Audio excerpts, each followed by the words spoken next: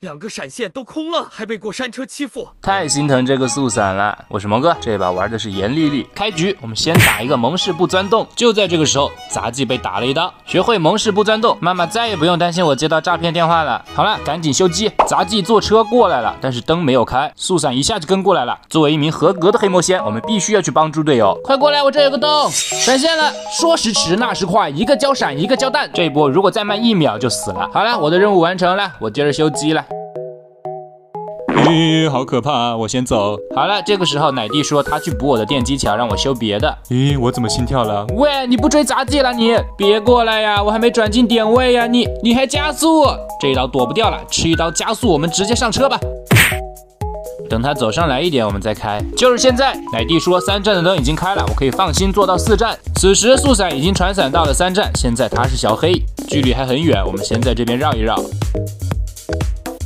这边可以打一个洞，直接通到车头。他来了，直接打洞，打打打歪了，没有关系，还有机会。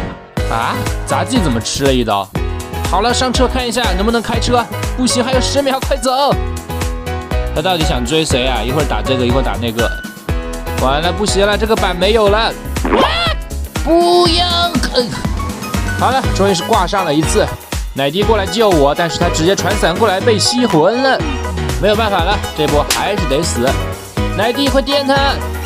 电了也没用，还是得死。现在还有最后一台遗产在马戏团里面。奶弟吃一刀过来救我，这一次我绝对不会给你当了，嘿嘿。他走这边，奶弟帮我扛一刀，我去坐车，快走快点，走快点！哎呀快开快开快开！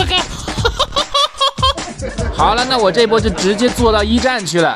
奶弟死了，但是没关系。现在这个时候呢，电机已经压好了。那现在囚徒压机，杂技救人，我去天门，完美配合。经过二战的时候，系统提示地窖在这儿，报个点给队友。